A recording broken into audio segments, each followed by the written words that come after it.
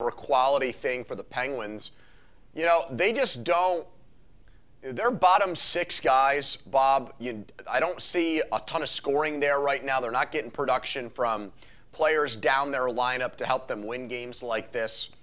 Uh, it's still early in the season. Uh, we're 15 games into an 82 game season. They're going to play all 82 this year. We know about the injuries and everything that's gone on with guys in and out of the lineup.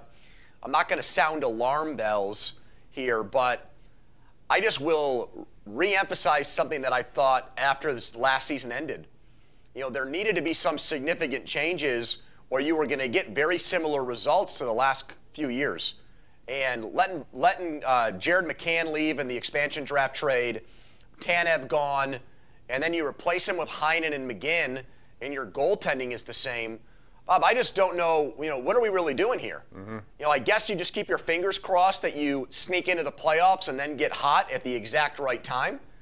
Because on paper, they're probably a middle team in the NHL, even with the great Sidney Crosby and the guys on this team that were still a part of Stanley Cup wins. Yeah, I would agree with that. And, you know, Kasperi Kapanen, for example, has four goals, but three in one game, only one in all the other games combined. And, you know, Zach Aston Reese hasn't scored a goal. There, there are other guys who need to step up. There's no question. Let's get to the lines, Andrew. We got a lot of people. I want to try to get as many on as we can. And we'll begin with Fred in North Huntington. Fred, go ahead. Hi, Fred. Hi, guys. Hi, guys. Thanks for taking my call. Mm-hmm. Hey, I just want to talk about the Steelers a little bit. A couple comments here. You know, you have first and goal at the, at the five yard line, Bob, and you throw the ball three times. I just think that's inexcusable. You you got to at least run that ball twice. I'm not saying Breach, they're going to three times, that. four times. Yeah. Yeah, I'm not saying they're going to score in that you know situation, Bob, but I think they made it a lot more difficult than they had to. Mm-hmm.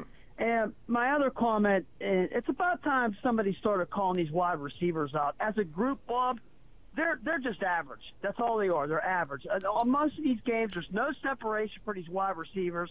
They're not helping the quarterbacks out at all. And I think they're going to have to draft. Uh, they never replaced Antonio Brown. I know he's a once in a lifetime player. I know they tried to replace him. Well, I mean, they drafted don't have a Diontae Johnson and Chase Claypool, but I get your point, and I appreciate Andrew your take on the wide receivers and lack of separation. I think Johnson gets open. I know he had a huge fumble, but I think for the for the most part, I've been satisfied with his production. The other two guys, Claypool and Washington, both second round picks. Got, I got to be honest. I think Washington, for where he was drafted, is actually a bust. I mean, in terms of overall selection, he was picked at a higher point in the draft than Juju, and uh, you just don't see it in him. You know, he wanted a trade, I guess, but you know, really, is he anything more than a third wide receiver or fourth wide receiver? I would say not at this point. We've seen enough of him. And Claypool in year two, Bob, I just haven't seen that leap or that jump. I think he's too inconsistent. There's a big play here or there. He draws a pass interference penalty here or there. He's got one touchdown. Yeah. With his big body, he's supposed to be a red zone difference maker, and he's not.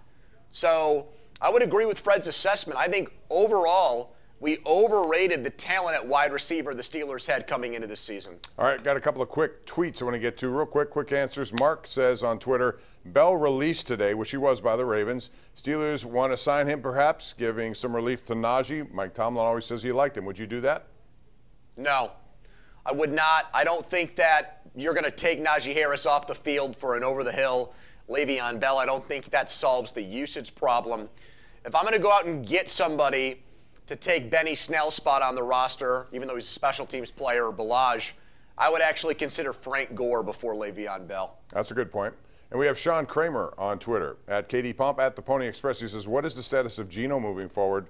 Penguins need to get healthy and playing lines one through four as constructed preseason and start banking wins. Well, the wins are not there, the points are not there. That's concerning. Even though we're in November, they're in a tough uh, division. Real quick, I think Malkin's future depends on number one. If he comes back, he's good and healthy.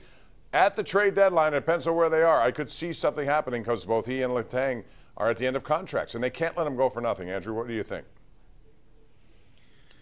You're saying if they're where they are right now, you trade those guys? I would consider all options. Why wouldn't you? I would more. I'd be more willing to trade Malkin than Letang. I still think Letang has a lot and gives them something that they really need on the backside. If I can get something really good for Malkin, and I think maybe that ship has sailed in terms of how much. I still would have to consider it depending on what he wants. If he's you know willing to sign another. Deal. Even deal. if you know that he's not going to come back and re-sign, so you trade him and you're not going to get him back in free agency at the end of the year, you'd still make that deal, Bob. if it was a good deal, I would. Yes, you. What do you think he's worth right now? I don't know that. That's that's the sixty-four thousand dollar question. And it comes down to how he plays when he comes back, because I think that will determine that. But I mean, how long can you keep on to you know all these guys? At some point, you have to replenish some system. You have to go out and get some return. And I think he's the most logical candidate of of he and Letang, Who would you move if you had to pick one? Well, I would trade Mal- well, I would trade Malkin just because Letang's your star defenseman, and Right. you don't have a, a center like Sidney Crosby. You don't have someone like that who's an analog on your blue line. But you know, it's easier to trade Letang because he doesn't have a full no movement clause. Malkin does.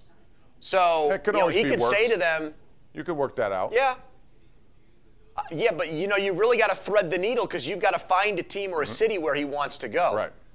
And with Letang, he doesn't have as much say in it. But I get where you're coming from, Bob. It's just it's hard right now for me to hear that, like trade Evgeny Malkin, and you know what that means. Like, uh, Again, I'm it's like a turning of the page if, you they're do that. if they're not in contention, End of an era. Which I think they will be. But if they're not, I, I don't. At some point, you got to make a choice here. And if you come back with the same, you just said it yourself. You come back with the same group, uh, and, and even though Yeah. those guys are elite, the same group, and you don't get much beyond that, where are we here in, in terms of what you're going to do competing forward? Because there are a lot of good young teams. With the, the Rangers, watch out for them, man. They are really good, and they're up and coming. Uh, Real quick, I want to get another call before we go to break. That would be Zookeeper. Zookeeper, you're on. Yeah, hi, Zookeeper. Yeah, this is Zookeeper. Hi, Bob and Andrew. Hey. Eight Hi. seconds left to go in overtime. No timeouts. Even if Freiermuth doesn't fumble, they can't spike the ball. Why didn't he kick the field goal? I'll hang up and listen. I would have done that. Absolutely, I would have. I think they were in his range no matter what, and I thought everything beyond that was risky. Andrew? And no one's asked Tomlin either after the game or today about that play.